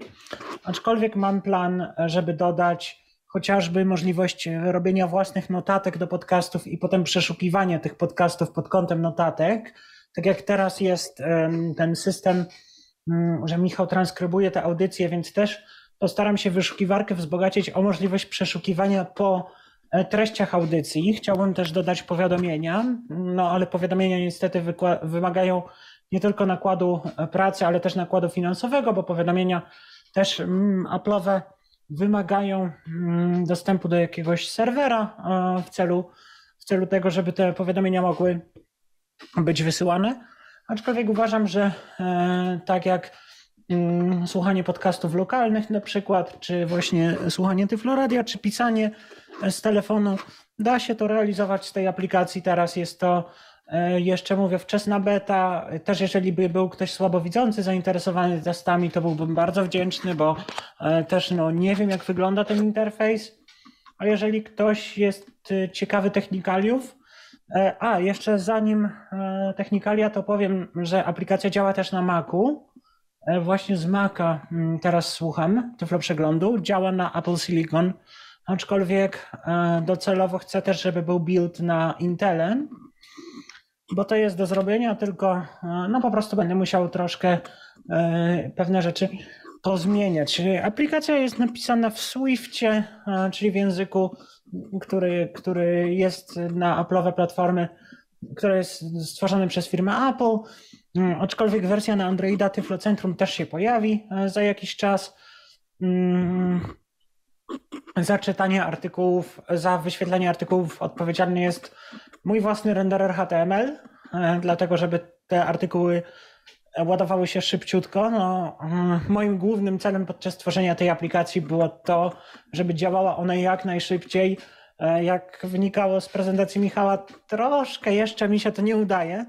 Ale to jest dobry, ale to jest dobry początek, Arku, bo naprawdę te e, treści, jeżeli wczytujemy, czy to Tyflo Podcast, czy to Tyflo Świat, e, no to, to wczytują się naprawdę bardzo szybko. Ja mam nadzieję, że jeszcze uda ci się e, zrobić tak, żeby też artykuły z Tyflo Świata pojawiły się w tych nowościach. Ja zresztą to zgłaszałem. Tak, i właśnie dzisiaj nad tym pracowałem. Myślałem, że się wyrobię do tej pierwszej publicznej bety, ale jeszcze to nie działa tak, jak bym chciał, więc pewnie dzisiaj wszystkie osoby, które się zapiszą e, do mm, grupy testerskiej otrzymają. Ja będę starał się wszystkich na bieżąco dodawać. Limit wynosi 96 osób, bo cztery miejsca są już zajęte przez testerów wewnętrznych, takich bardzo wewnętrznych, że tak powiem, którzy dostają kompilacje czasami o północy w środku nocy. E, testerem publicznym będę się starał nie robić takich niespodzianek, żeby jednak ludzi nie budzić. E, ale mimo wszystko naprawdę zapraszam, zapraszam do testów. Zrobimy może razem coś fajnego.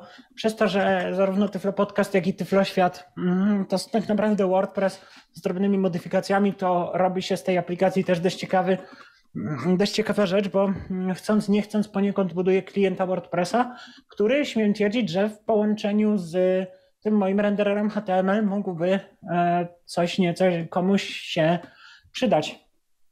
Więc raz jeszcze, jeżeli ktokolwiek chciałby się dołączyć, to zapraszam do kontaktu ze mną nuno69a małpa.gmail.com lub t.me tyflocentr. E, niestety Telegram uciął mi nazwę, nie uciął mi linka do grupy. E, teraz mi to ktoś właśnie w tym momencie zgłosił. Czyli to jest t.me tyflocentr. E, zostaniecie poproszeni o podanie adresu e-mail. Nie bójcie się, adres e-mail nie zostanie wysłany do wszystkich członków grupy. Jest to tylko i wyłącznie po to, mm, żeby mógł Was dodać do App Store Connect. E, pamiętajcie, że e, na ten adres e-mail przyjdzie Wam zaproszenie, które musicie zaakceptować i iPhone będzie usilnie Was prosił o to, żebyście zainstalowali aplikację App Store Connect, ale z tego, co mi mówił Michał. Nie trzeba jej instalować, bo tak naprawdę w tej aplikacji nie ma nic y, dla Was. Ta aplikacja to jest takie dość rozbudowane narzędzie, ale to jest bardziej dla, y, mam wrażenie, do czytania różnego rodzaju opinii na temat tych aplikacji i do tego całego takiego procesu dystrybucji aplikacji, ja w sklepie Apple też, e, jeżeli Was to ucieszy, to ja też z tej aplikacji niewiele korzystam, bo jedyne co w niej jest ciekawego, to powiadomienia o tym, że ktoś zainstalował aplikację albo komuś ta aplikacja się skraszowała. Ja też będę o tym opowiadał. E, niedługo na antenie Tyflo Podcastu. W przyszłym tygodniu. W przyszłym tygodniu, w, przyszłym tygodniu. w poniedziałek po godzinie 19 mm, sobie tak, o tym porozmawiamy. Także to już jest pewne. Bo to jest ciekawy, myślę, temat. No i cóż mogę powiedzieć, bardzo, bardzo się cieszę. Też dla mnie, jako dla człowieka, było to bardzo duże wyzwanie e, pod kątem takim typowo motywacyjnym, ale jak na razie wszystko się udaje. Aplikacja działa, aplikacja się rozwija, więc mówię, zapraszam Was do testów. Każda, każda opinia jest dla mnie ważna, e, no bo chciałbym wydać produkt dopracowany i produkt, który faktycznie będzie mógł osobom niewidomym służyć. Teraz e, pracuję nad trybem wysokiego kontrastu żeby osoby słabowidzące również mogły, e, mogły mm, korzystać z tej aplikacji. Jeszcze, jeżeli ktoś miał do czynienia z osobami z dysleksją, e, tym bardziej słabowidzącymi, to też proszę o kontakt, bo ja nie mam w tym doświadczenia, a chciałbym zrobić e, taki tryb, żeby dyslektykom dużo łatwiej było czytać mm, artykuły z Tyfloświata, bo wiem, że z tym jest problem w domyślnych motywach WordPressowych i też ten problem chciałbym dotknąć, bo, bo niestety ta dostępność dla osób z dysleksją jest e, też troszkę zaniedbywana przez nawet jeszcze bardziej niż dostępność dla osób niewidomych. Chciałbym, mm, tak mi się wydaje przynajmniej, ostatnio mam do czynienia z osobami z dysleksją i właśnie wiem, że mm, wiem, że z tym jest problem, więc jeżeli ktokolwiek ma też taki problem, to zapraszam do kontaktu. Chciałbym, żeby Tyflocentrum było nie tyle klientem Tyflo Podcastu i Tyflo Świata, bo ktoś przecież może powiedzieć, że panie, ale po co pan to piszesz, jak każdy dowolny czytnik RSS potrafi to, to wszystko prawie. No właśnie, te, no właśnie teraz jest taka sytuacja, y, że jesteśmy w trakcie tej migracji y, naszej instancji WordPressa i co ciekawe, żaden czytnik RSS w tym momencie nie jest w stanie odtwarzać tyflo podcastów, bo mamy tam gdzieś jakieś przekierowanie, którego szukamy po prostu, gdzie, gdzie ono się schowało, gdzie ono się tam zaszyło. Jakieś i... 300, wiecie co, zrób, zrób jakieś jakiś tam redirect 301, żeby te usługi wiedziały o tym, że jest przekierowanie, nie wiem, czy to na nowy serwer. To znaczy, gdzie? Arku, to jest, wiesz co, to ja ci to potem może wytłumaczę, o co chodzi, bo, bo ja już znalazłem ten problem, tylko tu jest jakby, tu, tu, tu jest zupełnie, zupełnie w, czym, w czym inny problem. A, Tyflocentrum jest... odtwarza.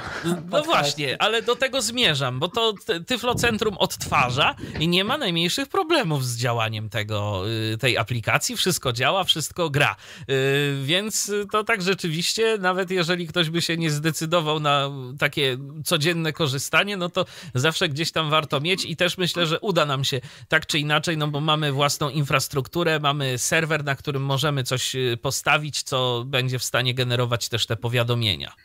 No tak, jeszcze tak wracając właśnie e, moim celem jest nie tyle zrobienie klienta do Tyflo Podcastu czy Tyflo Świata, ale ja chciałbym e, zmierzyć się mm, z takim zrobieniem aplikacji, która będzie dostępna absolutnie dla jak największej liczby osób. Czyli nieważne, czy ktoś nie widzi całkiem, czy ktoś ma problemy ze wzrokiem, czy ktoś ma dysleksję, czy ktoś e, ma jakieś inne problemy, chciałbym bardzo, żeby ta aplikacja E, korzystała nie tylko z wbudowanych w system funkcji dostępności, ale też e, chciałbym, to jest taki, taki trochę eksperyment też z mojej strony, chciałbym rozmawiać z osobami z różnymi problemami, żeby implementować różne rozwiązania. Oczywiście też nie jestem w stanie wszystkiego zrobić, bo, bo też moja wiedza jest ograniczona, mój czas jest ograniczony i tak dalej, i tak dalej.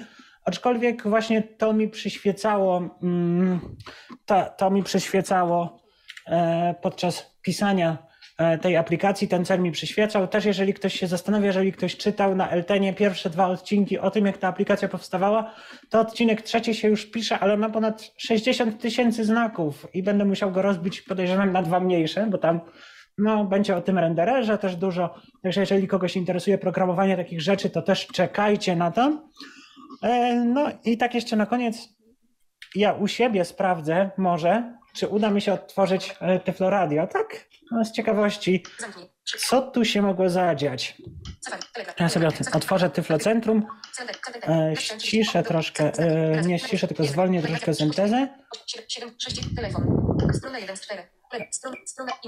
Znajdziemy sobie e, Tyflocentrum.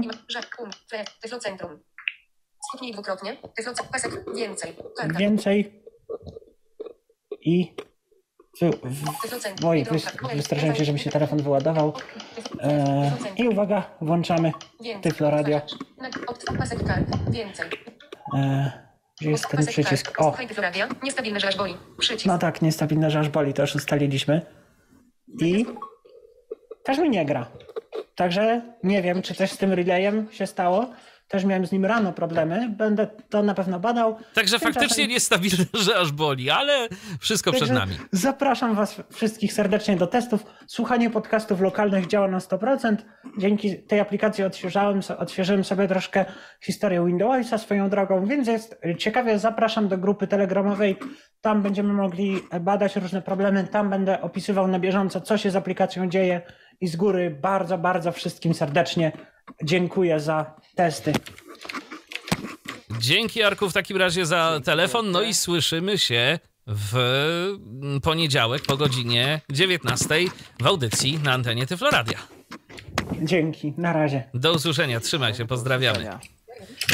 Tak jest. Y, to był Arek y, i aplikacja Tyflo Centrum, zatem zapraszamy Was serdecznie do zapisywania się na test flighta, do testowania. No i może coś uda się fajnego zrobić, oby tak y, rzeczywiście było, oby nam się udało ten projekt doprowadzić do końca, bo myślę, że no, będzie to coś przyjemnego, z czego część osób na pewno chętnie skorzysta. A teraz, Pawle, jeszcze dwa tematy, e, które ty masz e, dla nas na dobry początek mechaniczne ramię, które ma pomóc osobom głuchoniewidomym w komunikacji. Tak, amerykańska firma e, Tatum, e, która specjalizuje się właśnie w takim, e, takiej robotyce i sztucznej inteligencji na rzecz języka migowego amerykańskiego, pracuje nad takim ramieniem. Ramienie, ramienie, ramię dla oczywiście dla osób głuchoniewidomych, które pozwala na tłumaczenie tego, co się mówi, na dotykową wersję amerykańskiego języka migowego. Tam nie było użyte sformułowanie alfabet Lorma i ja się tutaj specjalnie nie znam, no ale y, widocznie w jakiś sposób palcami da się również y, ten język migowy wyrazić. Nie wiem, czy ty Michale tu więcej coś o tym wiesz, y, czy to jest jakaś uniwersalna rzecz we wszystkich językach migowych, czy to jest coś specyficzne dla amerykańskiego? Oj, szczerze mówiąc nie. Nie wiesz. Więc może ktoś, kto bardziej się zna w temacie się tu wypowie. No i na początek y, powstało samo ramię, które potrafi pojedyncze słowa w ten sposób przetłumaczyć, a docelowo ma powstać cały taki mini robot, y, który będzie bardziej skomplikowany, na przykład całe zdania, komunikaty i tak dalej, bo tu chodzi już nie tylko o rozmowę z drugim człowiekiem, ale też dostęp do mediów y, audiowizualnych i tak dalej. Oczywiście całość jest testowana z organizacjami osób głuchoniewidomych y, w Stanach, więc y, jak najbardziej konsultacje tu społeczne ze społecznością są. Y, no i miejmy nadzieję, że to ramię osiągnie status produktu i że będzie użyteczne dla tej grupy społecznej, no i może z czasem też będzie obsługiwać inne języki migowe, a nie tylko amerykański. Więc miejmy nadzieję, że tu się to wszystko rozwinie. A teraz y, jeszcze jeden temat, y, mianowicie o aplikacji będzie, o poszukiwaniu tematu do aplikacji, tak? Tak, zgadza się. Dzisiaj na y, no, portalu Applevis w godzinach PC porannych programista niewidomy Tristan Bowen zwrócił się do społeczności z prośbą, e, aby rzucać pomysłami na aplikacje, które chcielibyśmy my, jako osoby niewidome, żeby powstały. E, bo on mówi, że jest sam osobą niewidomą, e, nauczył się programowania i chciałby spróbować swoich sił w jakimś większym projekcie, który rzeczywiście no, w czymś może społeczności pomóc. Tylko, że nie bardzo wie za co się wziąć. I to jest zawsze taki problem. Ja, ja szczerze mówiąc, mam wiele pomysłów, tak ogólnie na, na różne rzeczy, których jeszcze nie ma, na jakieś programy komputerowe, na jakieś aplikacje mobilne i tak dalej. A w momencie, kiedy widzę potem na jakimś, nie wiem, Reddicie, czy na jakiejś grupie facebookowej, czy gdzieś indziej, a jakieś, jakąś właśnie taką odezwę do narodu ze strony osoby, która chciałaby coś zrobić. Często są to osoby widzące i po prostu pytają, że chciałabym coś zrobić dla, osob, dla osób niewidomych. Czego wam brakuje? I nagle pustka w głowie. I się zastanawia człowiek tak na siłę. I zawsze pierwsze myśli idą w stronę jakiegoś właśnie przetwarzania obrazu, nie? że jakaś aplikacja, która by czytała coś tam ze świata zewnętrznego, albo aplikacja, która by rozpoznawała coś tam. No i e, może jest to jakaś jedna droga, ale jest to taka bardzo oczywista droga. No, oczywiście wynika to z tego, że chcielibyśmy tych informacji ze świata zewnętrznego móc odczytywać jak najwięcej, no ale pytanie, czy to jest jedyna droga. No i tak y, dalej myśląc, y, ja na przykład doszedłem do wniosku, że może warto się skupić na tym, jakie istnieją e, usługi, które mają jakieś otwarte API i można by za pomocą tego API stworzyć naprawdę taki przyjemny w używaniu dostępny klient. Mi tu pierwsza myśl, y, jaka przychodzi do głowy, to jest Telegram. I ja to też opublikowałem jako moją sugestię, bo y, Telegram jest takim komunikatorem, który ma otwarte API i na przykładzie Unigrama czy Twiskake'a widać, czy nawet na Androidzie, Telelight, Blindgram i tam inne klienty, ten y, cały nie nanogram, tylko nanogram jest na Watcha, no, jeszcze jest ten dekogram, o, ten mod taki e, tej oficjalnej aplikacji. Widać, że da się zrobić dostępnego klienta, że jest to możliwe, ba, nawet akceptują to sklepy różne typu Play Store, e, sklep Play e, i osoby niewidome dzięki temu mogą korzystać, ale z jakichś przyczyn na iOS-a nie ma nic, co byłoby bogate w funkcje i aktywnie rozwijane. No i pytanie czemu? Czy to jest jakaś polityka App Store'a, czy to jest jakiś jeszcze inny problem? E, ja tu pomyślałem o właśnie osobach z dysfunkcją wzroku z Ukrainy, ale też o osobach, które im pomagają. No bo właśnie Telegram jest tam głównym kanałem komunikacyjnym, czy do otrzymywania oficjalnych wiadomości e, o tym, co się tam aktualnie dzieje, od oficjalnych, powiedzmy, kont e, tamtejszych służb i agencji prasowych, ale też do utrzymywania kontaktu po prostu między ludźmi. I tak też uargumentowałem moją sugestię. Zobaczymy, co z tym pan Tristan Bowen zrobi. Druga myśl, jaka mi przychodzi, może też się tym podzielę za jakiś czas, to jest Playroom Quentin C, bo no Quentin sam napisał, że on tych platform mobilnych nie zna, nie umie na nie programować e, i tak naprawdę potrzebowałby w tym pomocy i to było wiele, wiele lat temu, może od tamtego czasu się zmieniła koncepcja, natomiast był gotów wpuścić osobę zewnętrzną, żeby e, ktoś pomógł i e, takiego klienta stworzył. Więc może też to w późniejszym czasie zasugeruję. Na ten moment dwie propozycje, jakie widziałem, to są E, jakieś czasy zachodu słońca, tylko jakieś konkretne, z jakichś konkretnych danych wyczytywane w Stanach Zjednoczonych i jakieś raporty na temat burz również w Stanach Zjednoczonych. E, no więc jeżeli macie jakieś pomysły, macie jakiś pomysł, że powinna istnieć aplikacja iPhone'owa czy tam Macowa do czegoś tam, ale jej do tej pory nie ma, no to to jest wasz moment, możecie wasze życzenie urzeczywistnić. Link do wątku na Apple Viz będzie podany w komentarzu. Tak jest. Zatem zapraszamy serdecznie do tego, żeby zgłaszać takie pomysły, bo może akurat to właśnie wasza wtyczka yy, czy wasza aplikacja yy, uda się ją urzeczywistnić i uda się ją zrealizować. Natomiast yy, teraz y, kilka słów na temat starego, dobrego Winampa i y, HLS, czyli takiego sposobu przesyłania nowoczesnego, sposobu przesyłania mediów strumieniowych y, Często mówi się o tym w kontekście wideo, ale też w kontekście audio. I ja zacząłem się tym tematem e, na poważnie interesować e, w momencie, kiedy e, parę tygodni temu pojawiła się informacja mm, na antenie BBC, słuchając jednego ze strumieni tej stacji, pojawiła się informacja o tym, że niedługo te ten strumień zostanie wyłączony. No i na stronie BBC pojawiła się informacja, że zostanie zastąpiony m.in. HLS-em.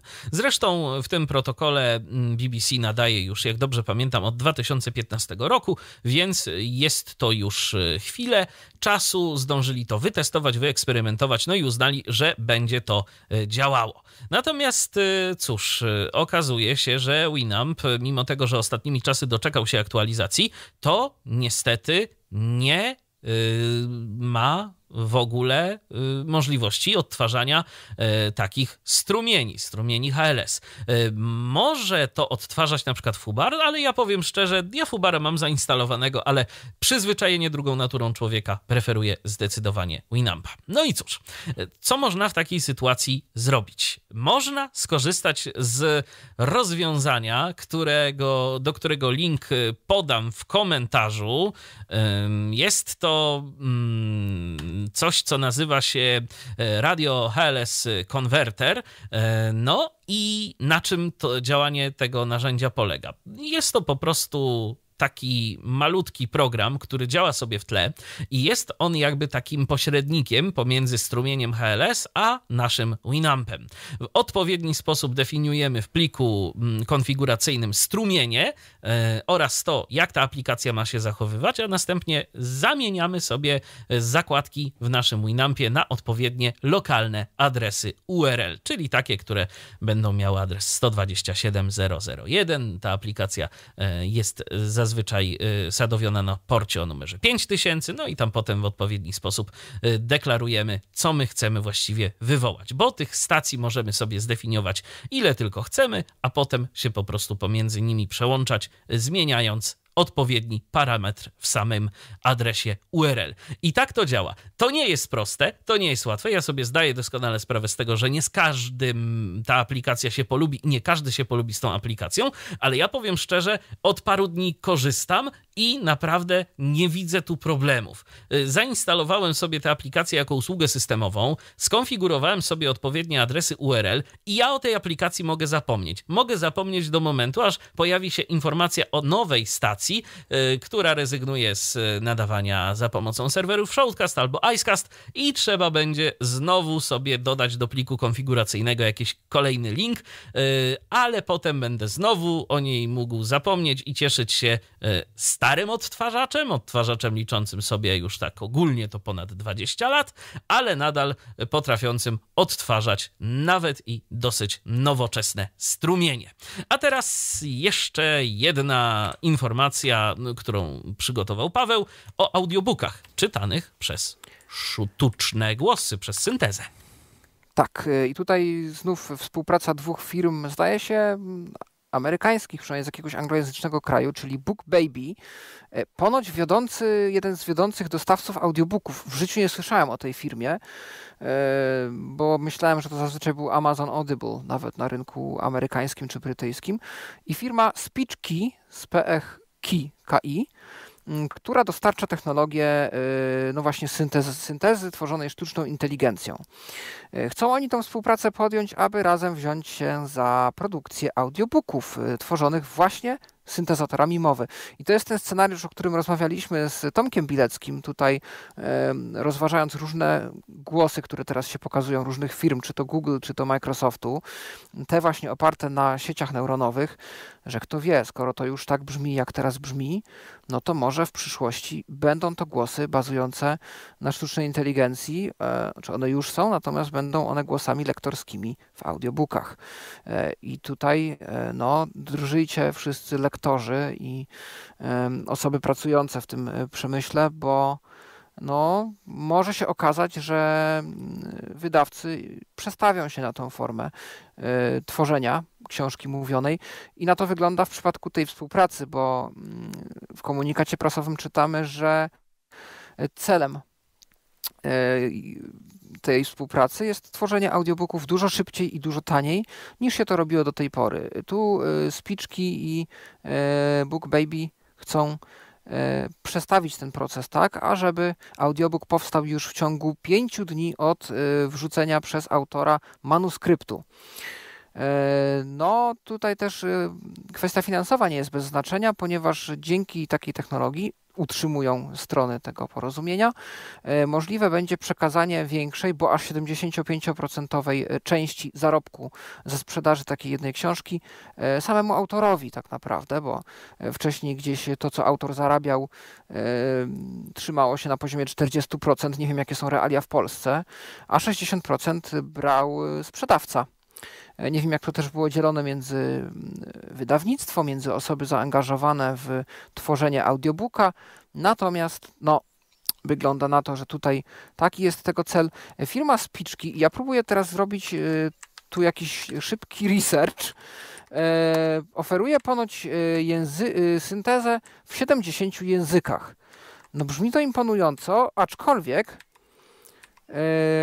domyślam się, że jest to prawdopodobnie poleganie na jakiejś usłudze zewnętrznej, czy jest to Microsoft, czy jest to Google, e, no ale próbuję, e, próbuję tutaj się dowiedzieć. Jesteśmy na stronie speechkey.org e, Creating audiobook with premium synthetic sounding narrators in 15 minutes. No to rzeczywiście jest duży szybki, szybko czasowo. E, no i tu mamy opcję, e, możemy tutaj e, możemy tutaj umówić się z przedstawicielami serwisu za pomocą opcji Calendly, czyli takiej platformy do umawiania dat. No ale co my tu jeszcze mamy? Blog, możliwość zalogowania się, możemy stworzyć z tekstu audiobooka w 15 minut, jest opcja zamówienia sobie demo, jest opcja jestem autorem, upload tekst. Mm, można wybrać 300, jeden z 341 głosów w 77 językach. Yy, można dostosować yy, tutaj e, różne e, parametry takiego głosu. Yy, no i no, nawet europejskie wydawnictwa zdaje się, że zaufały tej firmie. Yy, Storytel też zdaje się, że korzysta z usług tego serwisu. No więc tu ciekawe, yy, jakie te języki są. Zdaje się, że bez umówienia się wcześniej z firmą niestety się nie przekonamy. Natomiast, yy, no cóż, zobaczymy, jak to się wszystko rozwinie i czy rzeczywiście za jakiś czas będziemy słuchać audiobooków nagrywanych syntezą. Pożyjemy, zobaczymy. No to może być rzeczywiście interesujące. Y, jestem ciekaw, jaki będzie w ogóle odbiór y, no, samych słuchaczy, jak to, jak to przyjmą. Chociaż ja podejrzewam, że jeżeli ktoś nie ma tak do końca do czynienia na co dzień z syntezą mowy, to nawet może się nie zorientować, że to, że to jest synteza. W tak. dobie tych naprawdę ludzko brzmiących głosów. Zwłaszcza, że te głosy na przykład takie jak Google, które Tomek pokazywał. No tak ta intonacja jest przewidywalna w pewnym sensie, bo to nie ma, że nie, ale już jest to dużo bardziej ludzkie i lektorskie niż wszystko, co do tej pory słyszeliśmy, czyli technologia jakby już jest. No tylko teraz kwestia wykorzystania. To prawda. Zatem pozostaje no, po prostu czekać na to, co w przyszłości, co nam przyszłość przyniesie, jakie będą dalsze losy takich y, projektów. I tak naprawdę to już tyle, co dla Was dziś przygotowaliśmy. Dzisiejsza audycja taka y, dosyć y, szybka, krótka, ale treściwa i miejmy nadzieję, że dla Was również. Ja jeszcze przeglądam, cóż do nas napisaliście i czy w ogóle cokolwiek do nas napisaliście jeszcze. E, o, właśnie, mamy tutaj jeszcze E, od Michała dwa komentarze. Bardzo czekam na powiadomienia i przypomnienia. E, no i jeszcze to pewnie w kontekście aplikacji, o której wspominał Arek. E, no i jeszcze jedna sugestia od Michała. Może pamięć miejsca przerwania czytania artykułu per artykuł. A też bardzo ciekawa rzecz. I myślę, że może być interesująca i przydatna. No dobrze. Czy Pawle, coś jeszcze? Jakieś informacje? Chciałbyś na mm, koniec? Nie, to już wszystko ode mnie na dzisiaj. Ode mnie też y, więcej dla Was informacji nie mamy, a zatem dziękujemy Wam bardzo, że byliście z nami i że słuchaliście tego 161 wydania Tyflo Przeglądu. Kolejny za tydzień, miejmy nadzieję, że już w poszerzonym składzie, takim bliżej tego standardowego. Na dziś dziękujemy Wam bardzo za uwagę. Michał Dziwisz i po drugiej stronie mikrofonu Paweł Masarczyk. Dzięki Pawle. Dziękuję Michale, do usłyszenia. Był to Tyflo Podcast. Pierwszy polski podcast dla niewidomych i słabowidzących. Program współfinansowany ze środków Państwowego Funduszu Rehabilitacji Osób Niepełnosprawnych.